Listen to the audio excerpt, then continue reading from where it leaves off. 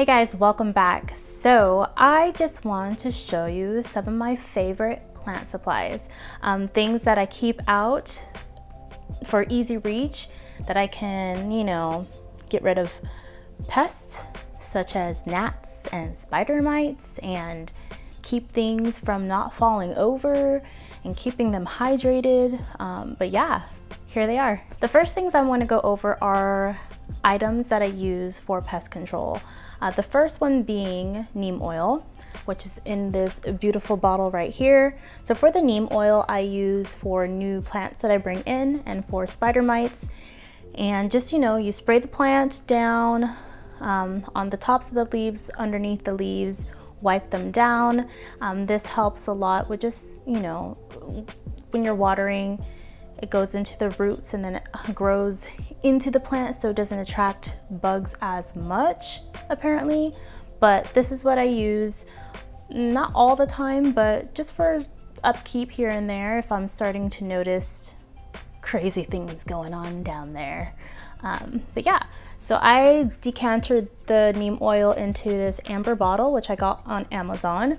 Um, I got a few of them, so just so that it looks a little bit cuter, aesthetically pleasing on my, my plant shelf. So yeah, so the next product that I use in the soil for fungus gnats, um, I like to try to keep it as natural as possible.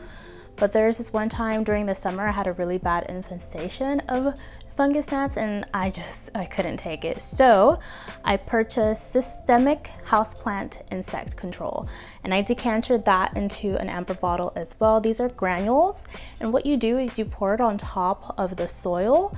Um, there are measurements on the back, but for the most part, you can pretty much eyeball how much you want to use into the soil. Um, so once you put it into the soil, you kind of mix it in and then water your plant.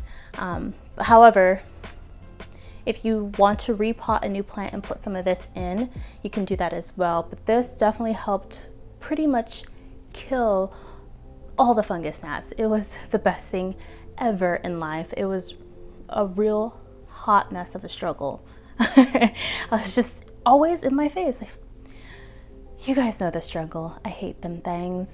I hate them so much. So yeah, systemic houseplant insect control. And I purchased this from my local garden nursery called um, Armstrong Garden. Um, and they have a few of the nurseries here in San Diego County area. But yeah, granules do last you a long time. I pretty much put them in most of my plants and so far so good. The next one I use for when I repot is a potting mat. It's super helpful of not getting soil everywhere like on the carpet or on the vinyl flooring. It's just an easier cleanup and keeps things in one area.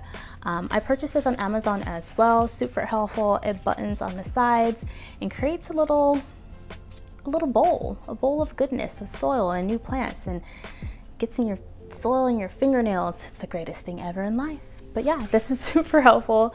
Um, I suggest definitely getting this for sure. Like this helps so much with repotting. Other than that, usually what I also do is have any extra plastic bags. I like to put soil in there and just kind of like um, dump soil in there and kind of use that. Um, but yeah, these, this is probably one of my favorite things ever to repot things in. So there's that. Another thing that I also wanted to keep things simple and aesthetically pleasing is when I'm staking my plants.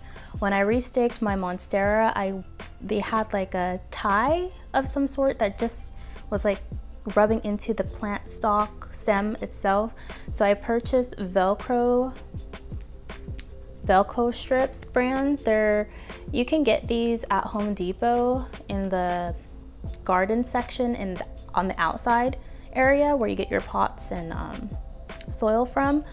But basically you could cut these into strips and you just wrap it around your um, moss pole, your um, bamboo stick, anything like that and cut to size and you can reuse it, super helpful. One side is very soft so it rubs lightly against the plant and it doesn't rub into it like twist ties or um, twine that people use as well.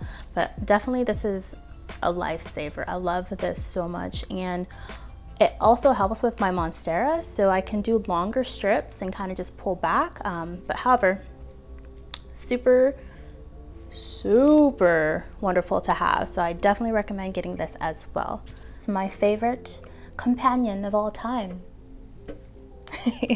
it's my watering can. Um, so I purchased this on Amazon and I absolutely love this color. It's like an amber reddish rustic color. It's gorgeous.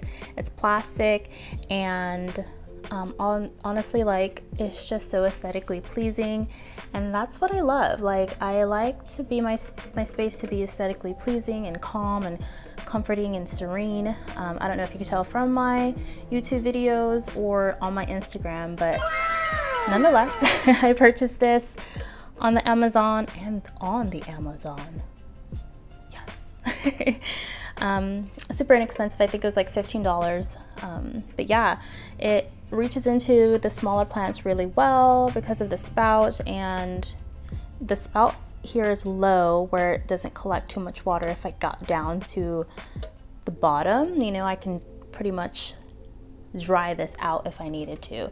But yes this is my watering can. It's gorgeous. I love it. It's all the rage but yes get yourself one the last thing is going to be my moisture meter from Classy Casita on Amazon. Now I purchased this for the winter. Uh, for the most part, um, I mean, now I can pretty much tell when my plants are thirsty and dry, but this helps for the winter time only because uh, like, I don't want to say, I don't know, when it's just cold, like I don't want my fingers to be cold from sticking my finger in the soil. So this has helped a lot. Um, on the back, it does go over the plant watering guide, which is pretty cool. Um, the different zones available on the meter. Um, so that also shows on the meter here dry, moist, wet. So that's super helpful to have um, with the watering guide on the back. Um, so that helps for the winter time. Just, I don't know, I don't want to get my fingers cold and wet because for the most part during the winter your soil stays pretty um, damp and moist because it's not so dry as in the summertime so this has been super helpful to have as well. So those are my favorite plant supplies that I like to use. Um, if you have any other like recommendations on anything else, I would love to know. Please comment down below um, your thoughts of any of these products that I mentioned and what your thoughts are about them. If you found better ones, things like that, that would be amazing. Like, why not? Let's help each other out out here in this houseplant world. Um, but yeah, I hope you enjoyed this video and I'll see you next time. Bye guys.